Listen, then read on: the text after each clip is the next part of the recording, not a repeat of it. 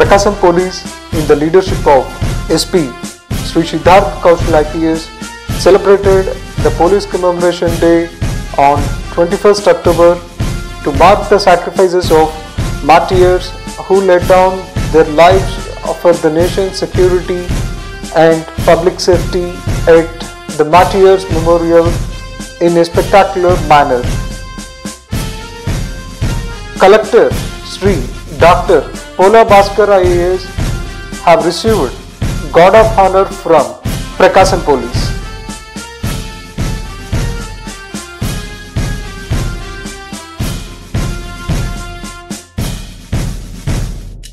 Chief Guest Sri Adimulapu Suresh, AP State Education Minister, Guests MP Sri Magunta Srinivasul Reddy, Collector Sri Dr.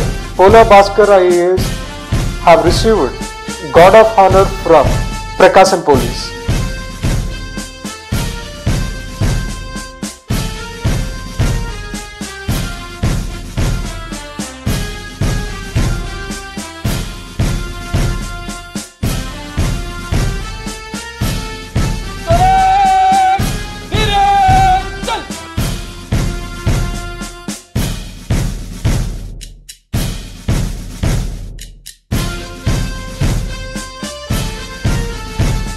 Afterwards, the list of martyrs from all over the country was presented to the SP by the chief guest.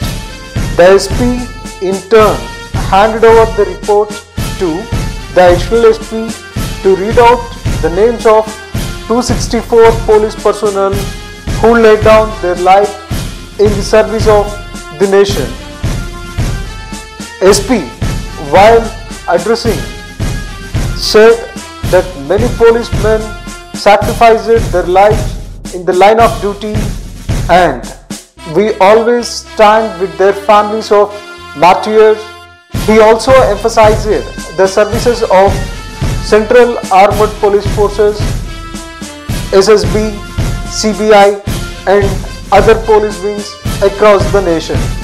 The dignitaries said the police doing invaluable service to protect the people even during the corona by risking their lives. Honorable Minister and district officials highly appreciated the SP for building the Martyrs Memorial in the district which is the best in its class.